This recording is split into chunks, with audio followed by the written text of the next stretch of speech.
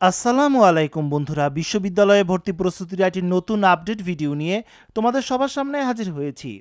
আজকের ভিডিওতে আমরা গুচ্ছ পদ্ধতির ভর্তি পরীক্ষার ক ইউনিটের ফলাফল কবে নাগাদ প্রকাশিত হতে পারে এই নিয়ে একটি নিউজ আপডেট তোমাদের সাথে শেয়ার করব। আশা করি ভিডিওটি শুরু থেকে শেষ পর্যন্ত দেখলে এই ব্যাপারে তোমরা পূর্ণ তথ্য পেয়ে যাবে।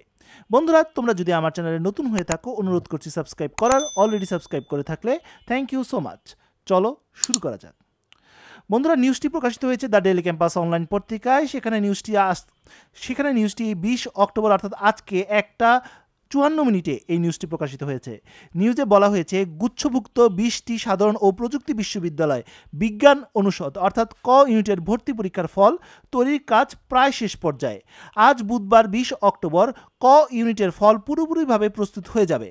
সন্ধ্যার পর ক ইউনিটের ফল প্রকাশ করা হতে পারে। বুধবার দুপুরে বিষয়টি দ্য ডেইলি ক্যাম্পাসকে নিশ্চিত করেছেন গুচ্ছ ভর্তি পরীক্ষা আয়োজক কমিটির যুগ্ম আহ্বায়ক ও জগন্নাথ বিশ্ববিদ্যালয়ের উপাচার্য অধ্যাপক ডক্টর মোহাম্মদ ইমদাদুল হক। অধ্যাপক ইমদাদুল হক বলেন বিজ্ঞান অনুষদভুক্ত ক ইউনিটের ওএমআর শীট দেখার কাজ প্রায় শেষ। যেটুকু কাজ বাকি আছে, তা বিকেলের মধ্যেই শেষ হয়ে যাবে।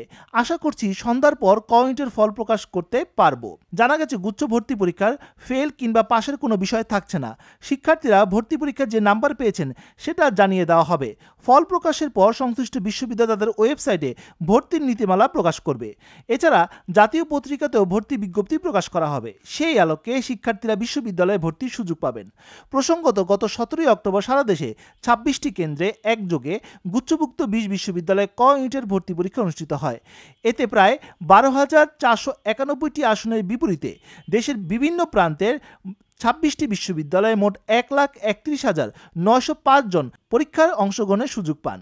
এবার একশো নম্বরে এমসিকিউ পদ্ধতি পরীক্ষা অনুষ্ঠিত হয়, সময় ছিল এক ঘণ্টা। প্রতিটি ভুল উত্তরের জন্য শূন্য দশমিক দুই পাঁচ নাম্বার কাটা যাবে, অর্থাৎ চারটি ভুল উত্তরের জন্য এক নাম্বার কাটা যাবে। পরীক্ষার কেন্দ্রে ক্যালকুলেটর, ঘড়িসহ অন্য কোনো ইলেকট্রনিক ডিভাইস নিয়ে প্রবেশ নিষেধাজ্ঞা দেওয়া হয়েছিল। তো বন্ধুরা, এই ছিল আজকের মতো ভিডিও। আজকে আমরা জানতে পারলাম গুচ্ছ পদ্ধতির ভর্তি পরীক্ষা সংক্রান্ত গুরুত্বপূর্ণ একটি আপডেট। আগামী আপডেট পাওয়ার সাথে সাথে অবশ্যই আমি তোমাদেরকে জানিয়ে দিব। তো বন্ধুরা, আজ এ পর্যন্ত সবাই ভালো থাকো, সুস্থ থাকো। দেখা হবে আগামী কোনো ভিডিওতে। সে পর্যন্ত আল্লাহ হাফিজ।